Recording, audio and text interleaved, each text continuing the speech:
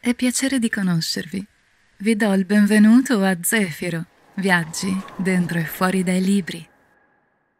In questo episodio vorrei parlarvi di un libro interessante e particolarmente attuale, ambientato in una terra di confine, in un angolo dimenticato a sud-est dell'Europa, dove Grecia, Bulgaria e Turchia si incontrano e la modernità sembra dissolversi all'interno di antiche foreste e valli isolate, che nel corso dei secoli sono servite da rifugio e santuario ai lupi e agli orsi che ancora oggi le popolano, ma non solo.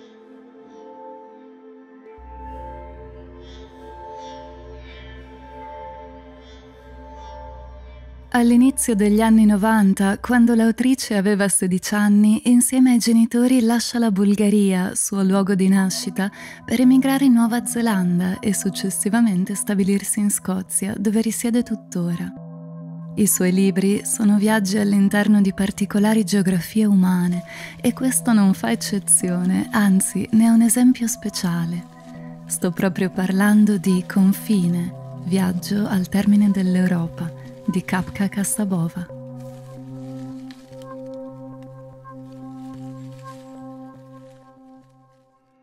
Ed ecco un anticipo dei racconti magici e allo stesso tempo intrisi di storia recente che ci aspettano nelle pagine a seguire. Questo libro racconta la storia degli uomini lungo l'ultimo confine d'Europa, là dove Bulgaria, Grecia e Turchia convergono e divergono, perché così sono fatti i confini. È qui che indistintamente inizia l'Europa e finisce qualcos'altro che non è più veramente Asia. A grandi linee la sua geografia è questa, ma la cartina vi guiderà solo fino a un certo punto e poi vi ritroverete nella foresta ancestrale, brulicante di ombre e di esistenze fuori dal tempo. O perlomeno è lì che sono finita io. Probabilmente in tutte le terre di confine pulsano le frequenze dell'inconscio, perché dopo tutto un confine è un bordo ovvero il punto in cui il tessuto è più sottile.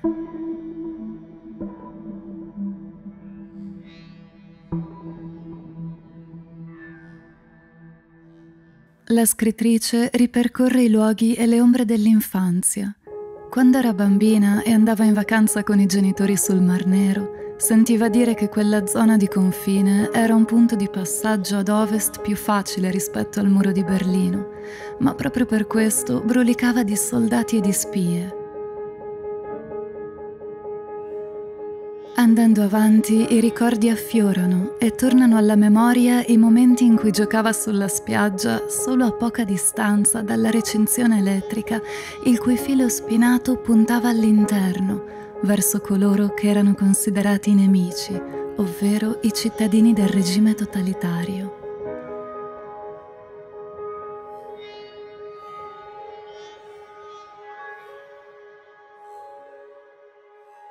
Il mio viaggio nasceva in realtà anche da un impulso emotivo piuttosto naturale. Volevo vedere i luoghi proibiti della mia infanzia, i paesi e le città di confine un tempo militarizzati, i fiumi e le foreste a cui l'accesso è stato vietato per due generazioni.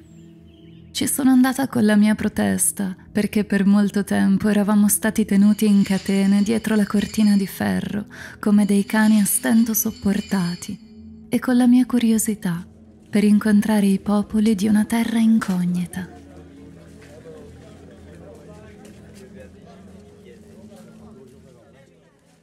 Il confine rappresenta un invito per il solo fatto di esistere. Vieni, sussurra, oltrepassa questa linea, sempre che tu ne abbia il coraggio. Oltrepassare la linea alla luce del sole o con il favore delle tenebre comporta un misto di paura e speranza. E da qualche parte, in attesa, c'è un traghettatore di cui non si vede il volto.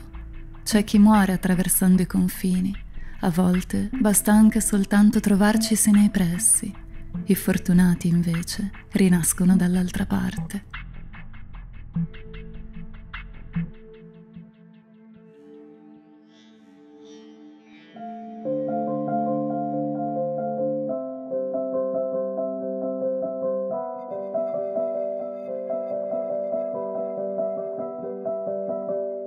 Il viaggio della Cassapova comincia in una foresta impenetrabile e si snoda lungo villaggi desolati, dove nel corso degli anni la natura ha avuto la meglio sull'uomo, una natura lussureggiante e particolarmente ricca di specie che vivono solo in quella zona e che l'autrice descrive in modo lirico e appassionante.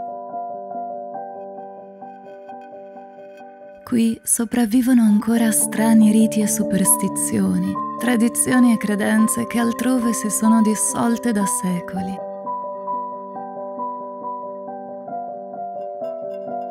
Negli altipiani di montagna sono rimasti templi remoti, i resti di una corrente mistica sufi che accompagnava gli eserciti dell'impero ottomano centinaia di anni fa.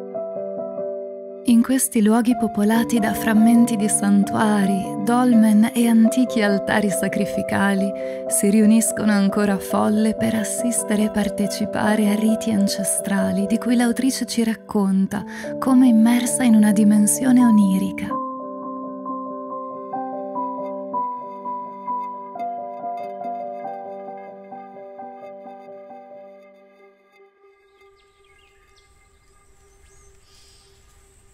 Si capiva di esserci entrati quando il traffico all'improvviso si dissolveva e si veniva avviluppati dalla foresta. La strada si fece sconnessa, ovattata in quel verde giungla, un verde pieno di lagune muschiose e santuari megalitici nella roccia, un tempo utilizzati nei culti di Dioniso. L'unico veicolo che incrociai fu un carretto trainato da un cavallo con a bordo una coppia di rom. Il carretto mi sfiorò e loro mi fecero un sorriso sfolgorante di denti d'oro, come se tutto fosse a posto. Davanti a me camminavano a passo lento quattro cavalli neri senza sella, che quando sentirono il motore si misero al galoppo e si separarono per lasciar passare la mia automobile. Poi si riunirono alle mie spalle come in un film muto.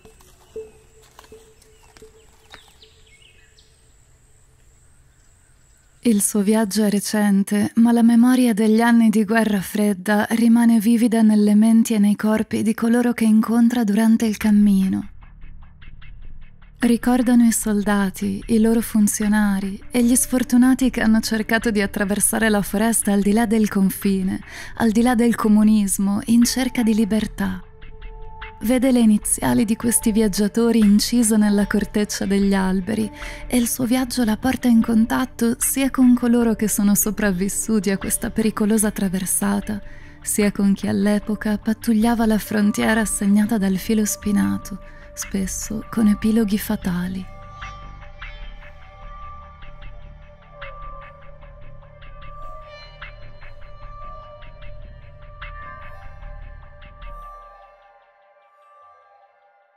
Alcuni dei luoghi che ho attraversato sono così belli da levare il fiato, ma li frequentano soltanto i botanici e gli ornitologi, i contrabbandieri e i bracconieri, gli intrepidi e gli smarriti. Poi ci sono quelli che ci vivono, la storia è scritta dai vincitori, si dice, ma io ho l'impressione che la scrivano coloro che non c'erano, il che forse è la stessa cosa.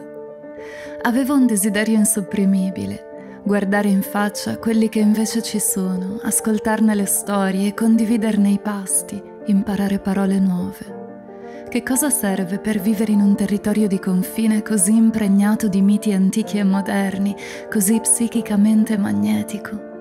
Nessuno di noi è in grado di sfuggire ai confini, tra sé e gli altri, tra intenzione e azione, tra sognare e svegliarsi, tra vivere e morire.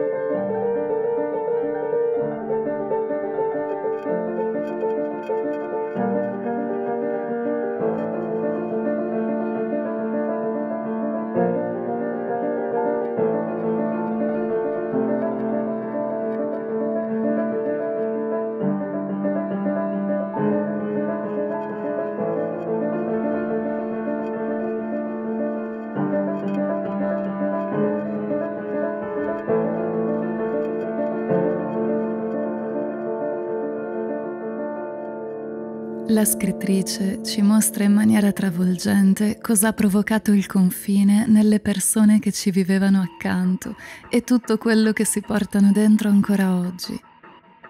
Il dramma personale vissuto da ognuno di loro, rivelando a volte identità prese in prestito o una psiche frammentata.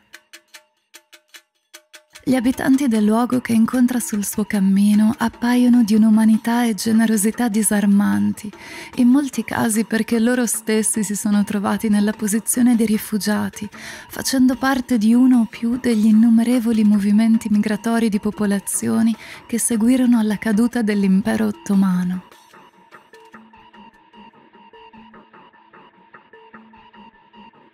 Stavo captando le frequenze di eventi conservati nella montagna. Non erano eventi naturali, ma frequenze del confine, di una foresta che portava incise le iniziali di coloro che erano stati giovani e disperati nel XX secolo. Ero venuta a cercarne le storie, ma sarei stata all'altezza del compito. Mi avevano detto che lì scomparivano cose e persone, ma niente se ne va per davvero. In quel momento lo percepivo simile a una presenza dietro le spalle. Anche se il sole era alto, le montagne di Orfeo si erano rabbuiate. Raggiunsi un ramo laterale del fiume e mi fermai a bere, ma l'acqua gelata mi infiammò la gola.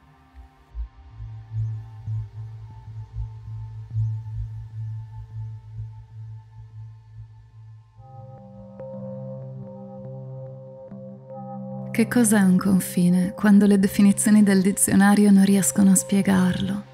È qualcosa che ci si porta dentro senza saperlo finché non si arriva a un posto come questo. E poi ci si tuffa nell'abisso, una parte del quale è esposta al sole, mentre l'altra è immersa nell'ombra. L'eco moltiplica i desideri, distorce la voce e la porta lontano in un territorio remoto in cui forse, tempo fa, siamo stati.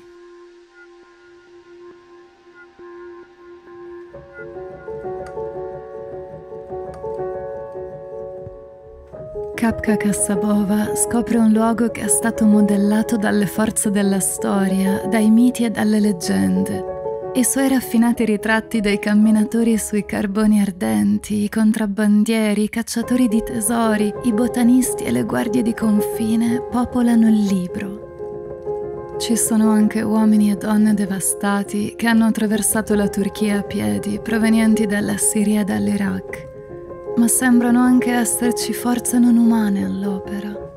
Questo paesaggio densamente popolato di foreste è ricco di sorgenti curative e tombe trace e l'ombra di un mondo antico fatto di tempo circolare e animismo non è mai troppo lontano.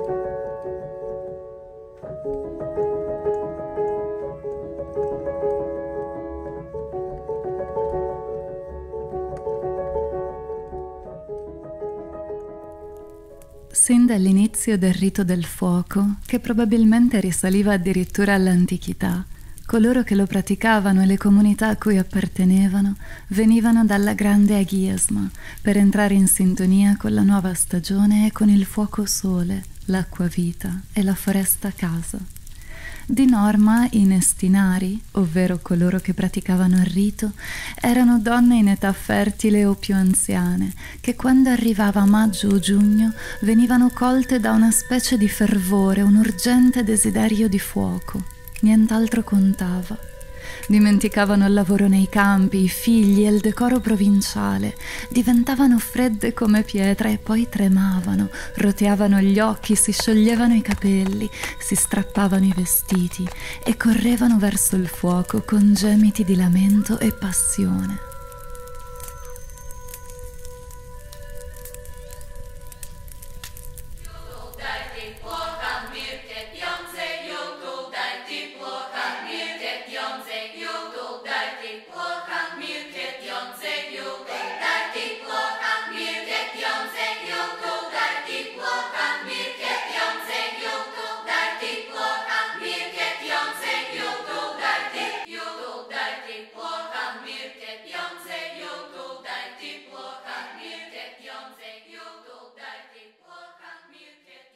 Confine è una narrazione di viaggio densa e scintillante, ma anche un'ombra sulla guerra fredda, uno sguardo laterale sulla crisi migratoria in Europa e una discesa profonda, stregata, all'interno e all'esterno di geografie umane.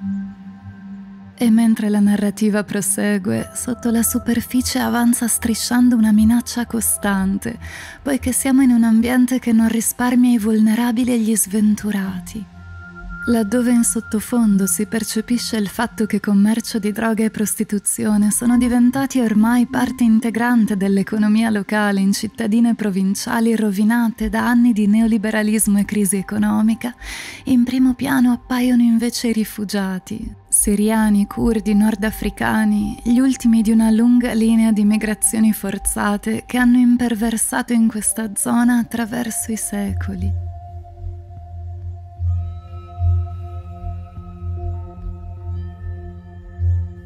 All'improvviso capì perché era così importante venire in questa foresta.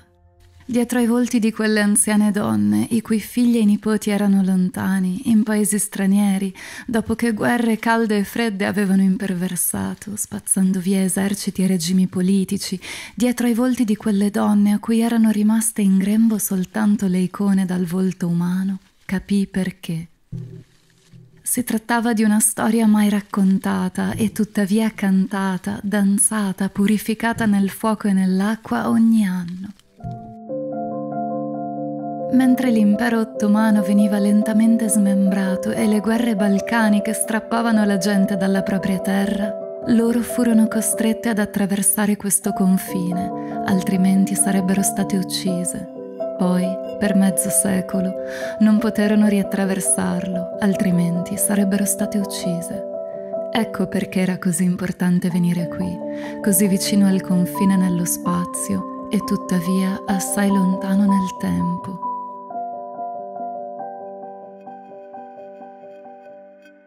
Confine offre al lettore una vasta gamma di avvenimenti strani e inesplicabili e personaggi affascinanti, in cui l'autrice si trova coinvolta in maniera più personale della maggior parte dei suoi predecessori. Le sue radici, dopo tutto, si trovano in questa parte del pianeta e il suo girovagare in queste montagne è più un modo di riflettere sulle sue origini che un racconto di fantasia. O forse sarebbe meglio dire che a un certo punto realtà e fantasia iniziano a fondersi, mentre la scrittrice si muove attraverso paesi e secoli nel tentativo di liberarsi dall'incantesimo di queste regioni strane e sconcertanti, che non lasciano uscire chi si è spinto fin qui. Alla fine riesce a partire, ma il sortilegio rimane.